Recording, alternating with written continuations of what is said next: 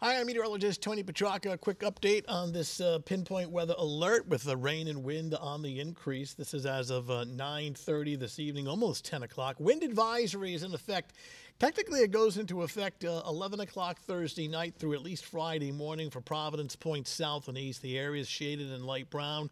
Southerly gusts of uh, 45 to 50 uh, miles per hour possible. Outside of the advisory area north and west of Providence, gusts somewhere between 35 and 45.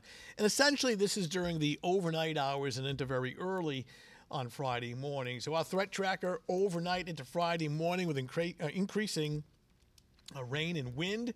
Looking at uh, downpours early on Friday morning. It uh, will impact the uh, morning commute.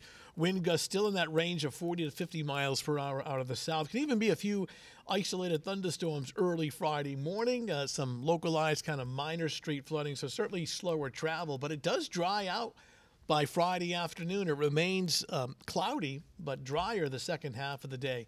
So here's the latest satellite and radar composite. And you can see the first batch of rain associated with a warm front that's passing through right now. A few heavy downpours, not out of the question to get maybe a little isolated thunder uh, out of this in some spots. Look at the temperature going up. In fact, overnight we're going to be rising well into the 50s. In fact, close to 60 in some areas, 60 degrees by Friday morning. But there's more precipitation off to our south and west. This area has to come in overnight and very early on Friday morning before it all dries out Friday afternoon. So let's advance the map. And here we are um, about 8, 9 o'clock on Friday morning. You can see a line of some very heavy rain and wind and some thunder out ahead of a cold front. But this is very progressive. Watch how rapidly this pulls offshore. So by the second half of the day, Friday afternoon at about 2 o'clock, most of the rain has moved offshore.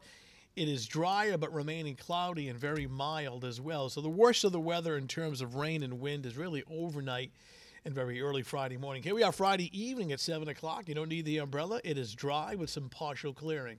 So here's the breakdown Friday morning. It is stormy early, especially 5, 6, 7, 8 o'clock in the morning. Some heavy downpours, windy.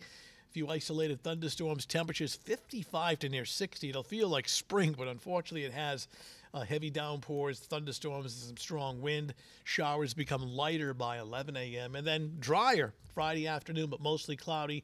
Temperatures remaining in the 50s. Uh, no surprise here. Gale warning on the bay and offshore. Stay in port.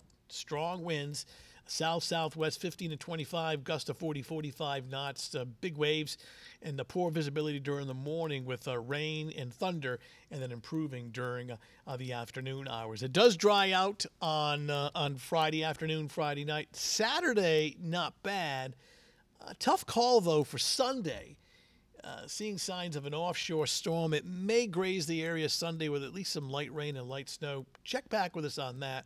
Uh, right now, Martin Luther King Monday looks uh, cool and dry. You definitely want to check in. Well, check in with us tonight on our newscast at 10 and 11 o'clock, and meteorologist Michelle Muscatello early on Friday morning with an update on some of this rain and wind.